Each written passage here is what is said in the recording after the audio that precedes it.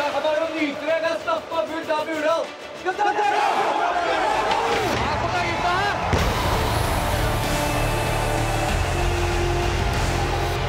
Spør hvilken som helst hockeyspiller hvorfor de spiller. Hvorfor de holder ut timer med mishandling på isen. Hva er det som skjedde da? Hvorfor de ofrer alt for sporten. Jeg bare kjører, så er det hvile. Jeg håper dere er jævla stolte her inne. Faen meg noe av det flaueste jeg har vært med på. Piss dårlig! Jeg skal ta det! Hvorfor de spiller seg gjennom smerter og skader. Rapp var! Faen ikke interessert seg vinne en dritt! Her, hva betyr det vi starter å? Det er fordi de elsker dette. De elsker sporten, de elsker spillet, og de elsker laget.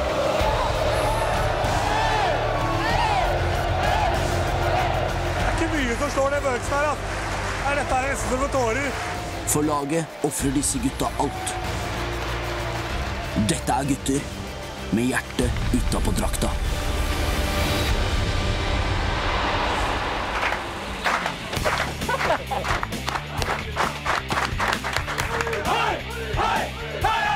I denne serien skal du få se hvordan livet er både på og av isen i Norges mestvinnende ishockeyklubb.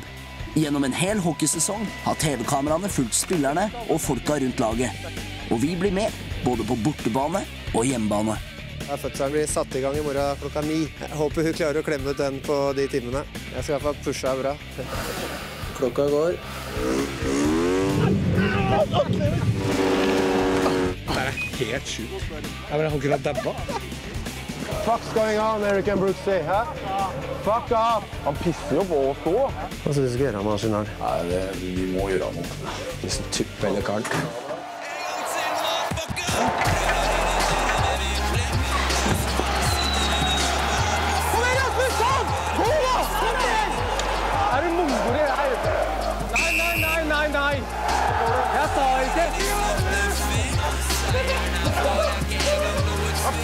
driver med før? Jeg skjønner ingenting.